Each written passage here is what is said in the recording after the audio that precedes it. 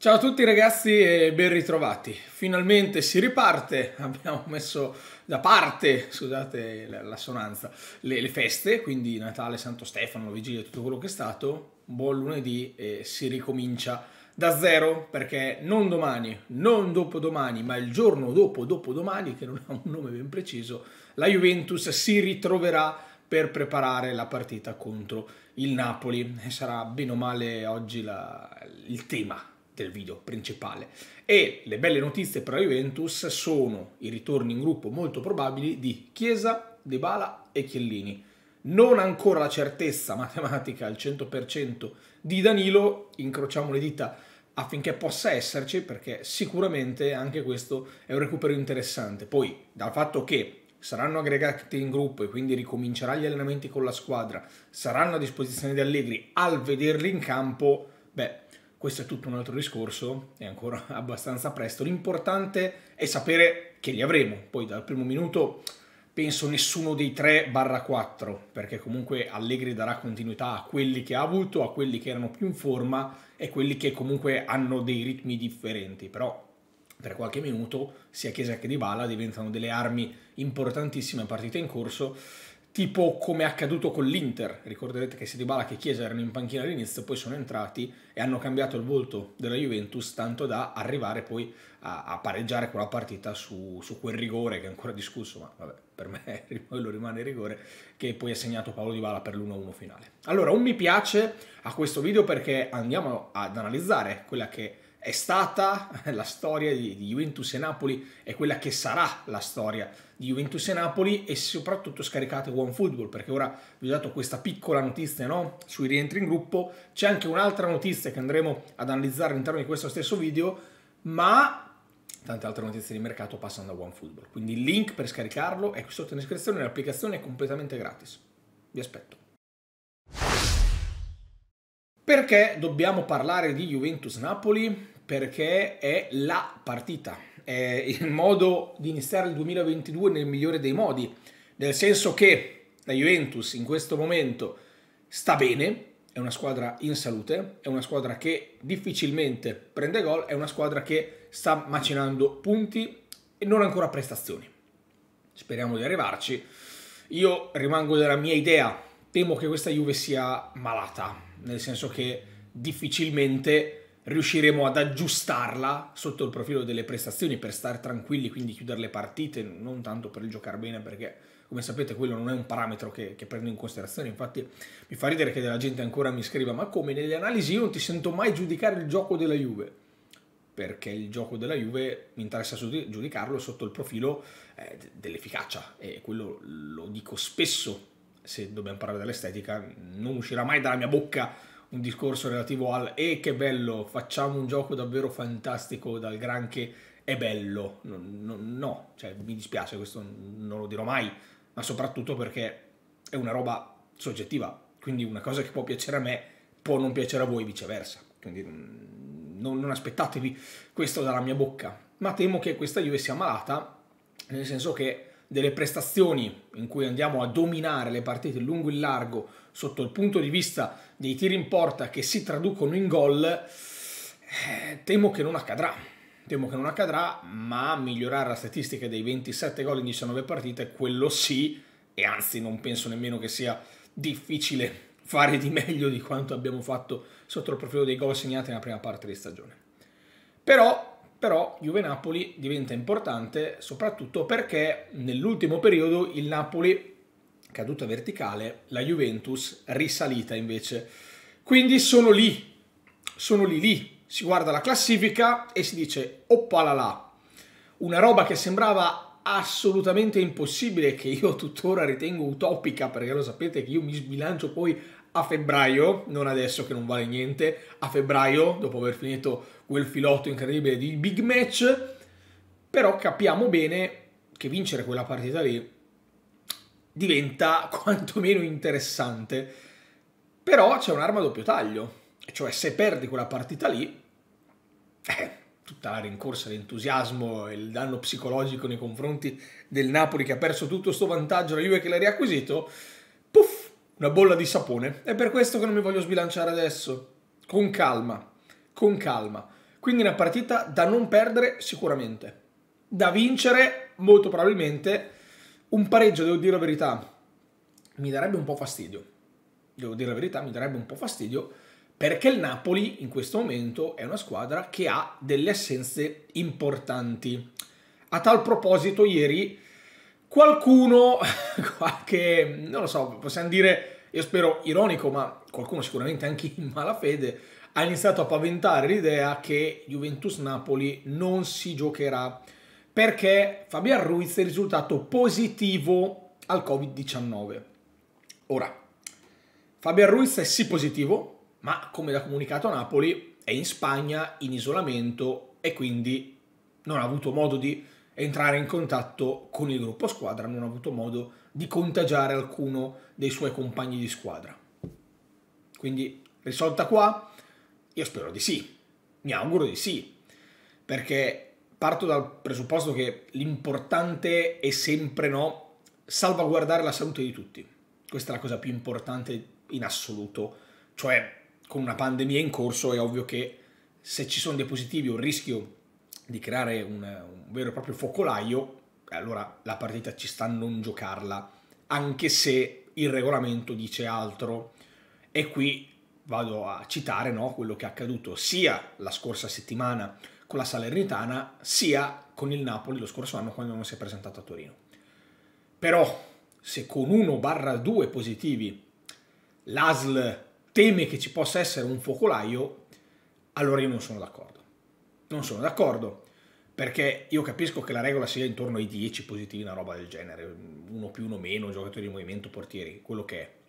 E le ASL sicuramente hanno il potere di fermare le partite, lo stiamo vedendo, in caso di rischio concreto.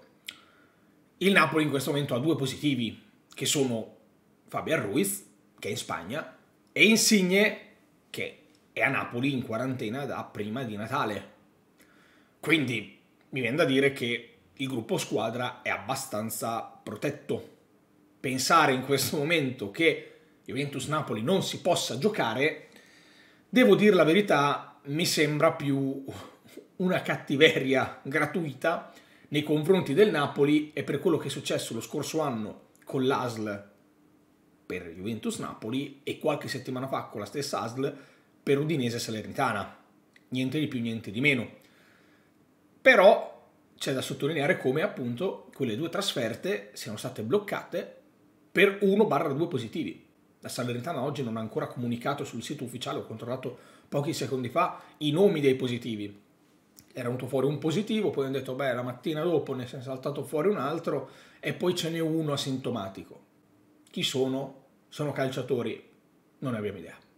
Quindi pensare ad oggi che Juventus Napoli possa essere rinviata per Covid, per il blocco da parte dell'ASL, ribadisco, è una cattiveria basata sul fatto che in passato l'ASL è stata un po' troppo non so neanche come giustificare, non, non, non, posso dire larga perché no, non è che abbia fatto un piacere, però è stata un po' troppo, non so, ha avuto un allarme che probabilmente poteva scattare con un po' più di indice di pericolosità diciamo così per non dire una fesseria. Quindi io vado ad analizzare anche l'andata di Napoli-Juventus, che si gioca alla terza partita di campionato, mi pare, dove c'era stata una pausa nazionale in mezzo. La Juventus si presenta a Napoli con questa formazione titolare. Scesni in porta, Pellegrini a sinistra, esordio da titolare per Pellegrini, esordio la Juventus, Chiellini, Bonucci in mezzo, De Sciglio a destra, Rabiolo, Catelli, McKenny, Kuluseschi, Morata e Bernardeschi. Questa è stata la formazione schierata da Allegri. In panchina c'erano Delit, Ramsey e Ken che poi sono entrati, Pinsoglio, Prin, Rugani, De Winter, Solé e Miretti. Stiamo parlando di 17 giocatori in totale per la Juve, di cui 3 portieri e 3 under 23. E quella partita si è disputata in una situazione di emergenza clamorosa da parte della Juventus, che è andata a Napoli, ha fatto una partita insufficiente, perché è stata una partita insufficiente da parte della Juve, che però analizzandola nelle assenze, analizzandola in quello che è stato, cioè il Napoli non dico a pieno organico ma quasi, la Juventus con fuori tantissimi giocatori, ve li cito, Dybala, Chiesa, Quadrado, Danilo, Alexandro Bentancur, di cui i sudamericani erano, con le nazionali erano tornati in tempo, più Chiesa stesso che, insomma, caccia via, che era infortunato con la nazionale più altri due infortunati che erano Arturo e Caio Orghi, che erano fuori per cavoli loro, però la Juventus si è presentato con un sacco di assenze e ha fatto la partita che poteva fare. E per quello che prima vi dicevo, il pareggio sì ma no, perché comunque il Napoli non avrà a disposizione Ossimen, Koulibaly, che sono infortunati, e probabilmente in Coppa d'Africa, perché se si giocherà la Coppa d'Africa questi saranno via, insieme ad Anghissà, Mario Rui, che è squalificato, io Insigne non lo metterei nemmeno perché ormai è in quarantena da un pezzo, quindi è Fabian Ruiz che ha il Covid. Non è che stiamo parlando di 14 milioni di giocatori fuori nel Napoli come era stato per la Juve, però capisco che il peso di Ossimen, di Koulibaly, di Anghissà, di Mario Rui e di Fabian Ruiz, che questi dovrebbero essere i 5 sicuri assenti nel Napoli, se vogliamo aggiungerci Insigne, aggiungiamolo che magari sarà il discorso come Chiesa di Bala non ha tutti i minuti, entrerà dopo, non lo so, eh, però eh, quei pesi specifici lì pesano. Cioè sono dei giocatori importanti per il Napoli che ti cambiano la squadra, l'abbiamo visto anche nelle ultime partite dove il Napoli quando era pieno organico andava forte, macinava punti, risultati, prestazioni. Quando sono iniziati a mancare questi giocatori, meno, ed è interessante vedere come quando si fa male il centravanti del Napoli, Osimen, viene sì sostituito da Mertens, che comunque fa anche abbastanza bene, ma non è la stessa cosa rispetto ad Ossimen, che eh, giocare con un centravanti è un conto, giocare con Mertens è un altro che sì, magari ti fa qualche gol, però poi la squadra fa più fatica a giocare senza un vero e proprio punto di riferimento là davanti e da quando non c'è più Osimen il Napoli sta facendo fatica. Questo è un bel parallelo che posso fare chiave Juventus, no? E quindi questa è la storia. Penso che si giocherà. Juventus-Napoli si giocherà come si era giocata Napoli-Juve nelle assenze, nell'emergenza della Juventus si giocherà Juventus-Napoli nell'assenza nell'emergenza del Napoli. Poi io sono sempre di quella. Per me la partita è bella quando ci sono tutti. Eh, all'andata non c'è stata la Juve, al ritorno non ci sarà il Napoli. Spero che il risultato possa essere positivo per noi come l'andata è stato per loro. E rischi coronavirus per il momento non ce ne sono perché Insigne è in quarantena prima di Natale, Ruiz è in Spagna e, e, e basta. Se poi salteranno fuori altri positivi da Juve Napoli, io questo non ve lo so dire però ad oggi mi sembra follia iniziare a pensare che non si possa giocare Juventus-Napoli perché Fabio Ruiz in Spagna è risultato positivo e il Napoli ha altri 4-5 assenti. Eh, il calcio è questo. Cioè, come siamo venuti noi a giocare a Napoli, eh, verrete voi a giocare a Torino. Cioè, è inutile che giriamo intorno, facciamo... Eh, eh, sarà così. Se salterà fuori altro non lo so, ad oggi sarà così.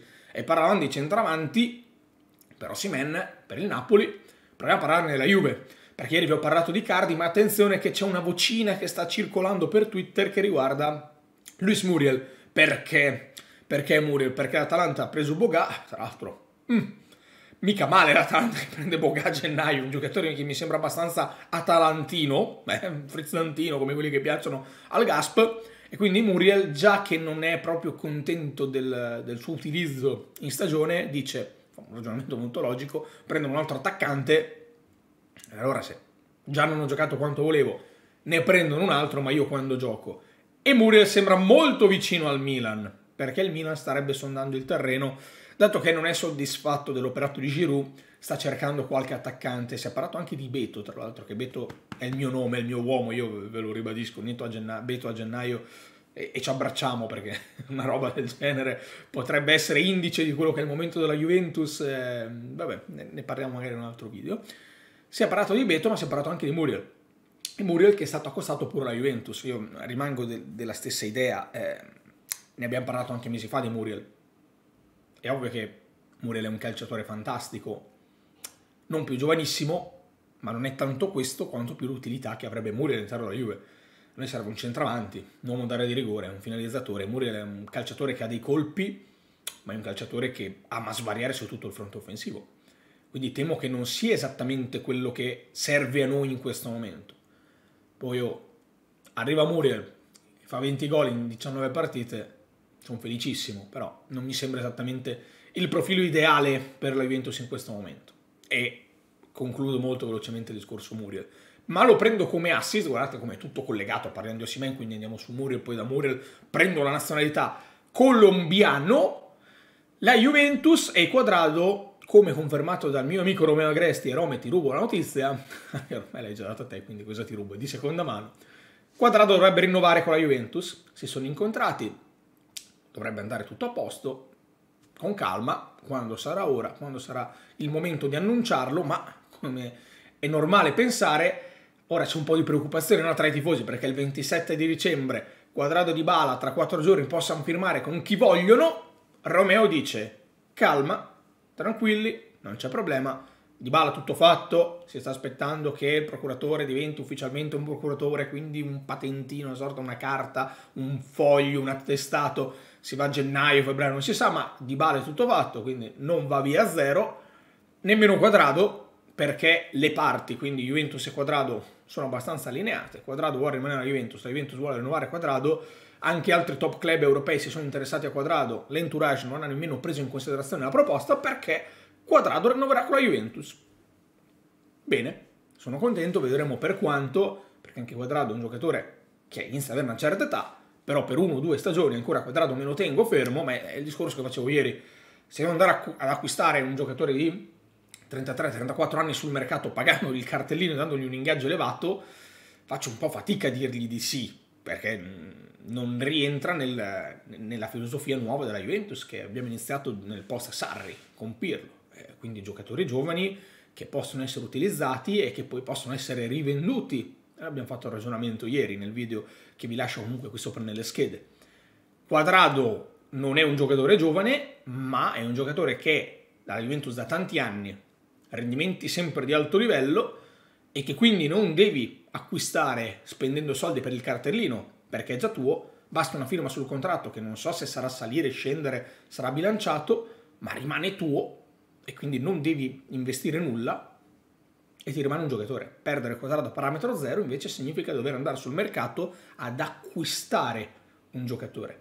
E io spero che si faccia parallelamente questa cosa, nel senso rinnovo quadrado, allo stesso tempo ragione dico, attenzione, perché quadrado tra poco scade un anno o due anni. In questi due anni mi devo mettere avanti per trovare il suo sostituto che possa essere il terzino, che possa essere l'esterno, possa essere l'ala, io non lo so, però la Juventus intanto deve acquistare il futuro erede di Quadrado e magari il primo anno lo faccio giocare in una squadra di Serie A di bassa medio classifica, si fa la sua esperienza, l'anno dopo rientra alla Juventus e si fa un anno in compartecipazione con Quadrado, in modo che quando Quadrado lascerà la Juve sarà pronto il suo erede. Questo è un po' la mia filosofia, ma fatemi sapere anche le vostre. Secondo voi si giocherà Juventus-Napoli? Ribadisco, per me grande sì perché non vedo assolutamente i motivi per cui non giocare questa partita. Muriel sì, Muriel no. Bah, eh, a Muriel piace tanto. È uno dei calciatori che mi affascina di più all'interno della Serie A, però non ne vedo l'utilità. Quadrado rinnovo? Sì o no? Voglio sapere le vostre. Ci vediamo oggi pomeriggio con un altro video.